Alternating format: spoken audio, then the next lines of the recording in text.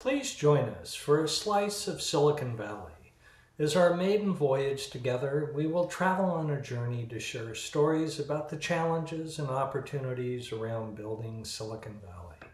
Some of the successes, failures, and what hopefully will be something you can take away and apply yourselves.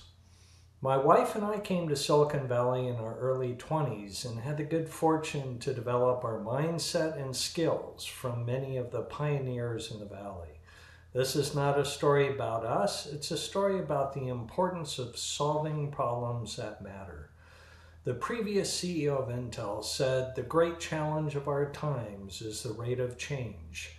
It is moving faster than we can adapt. It went from linear advancement to exponential. This challenges business, government, education, and society.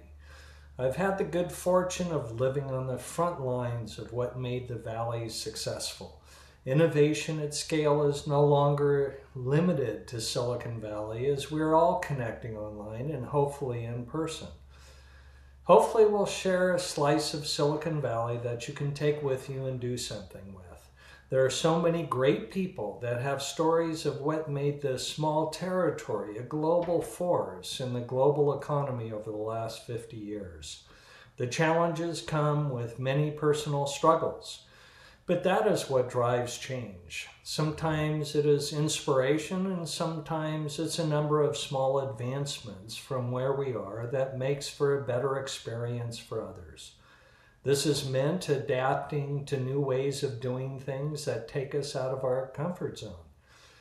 With a generation that are entering their 20s and seeking opportunities, it's critical to encourage, encourage their definition of innovation while exploring how change occurs that has had an impact.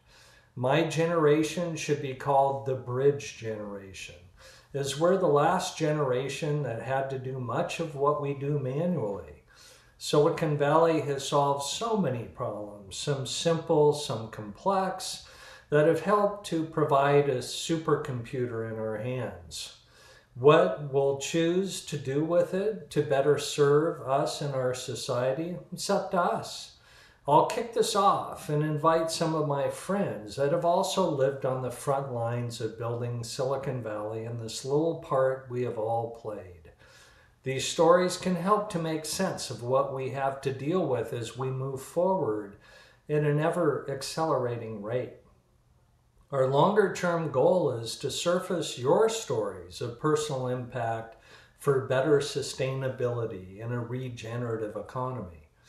We'll explore some of the elements that encourage innovation, from people to tech to economics to Web3, from our individual role, how those around us influence our potential, how our mindset can help us build stories to uh, overcome the fear from within. We now have all the tools to rebuild the middle class. We just need to do a better job in connecting with them. Learning from those that have helped us get here will help us move forward in a way that can move us to a better place.